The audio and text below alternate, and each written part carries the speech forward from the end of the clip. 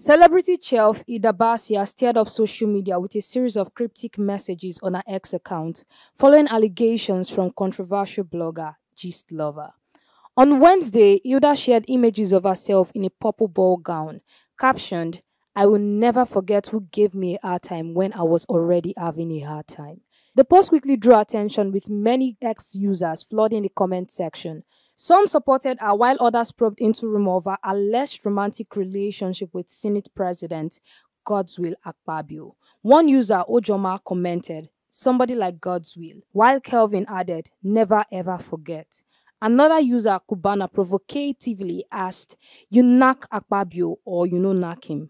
In the late hours of Tuesday, Hilda tweeted, Know that you will be okay not because things will be perfect, but because God will lead the way. In another reflective tweet, she wrote, We are growing just to be buried. Remember that. On Monday, Hilda shared a picture with her close friend Eniolua captioned, I hope you don't let go of me like everyone else did because you are literally my last hope of love. This post came after Gist Lover's controversial allegations. In a social media post last Sunday, the blogger listed several female celebrities allegedly involved romantically with Akpabio.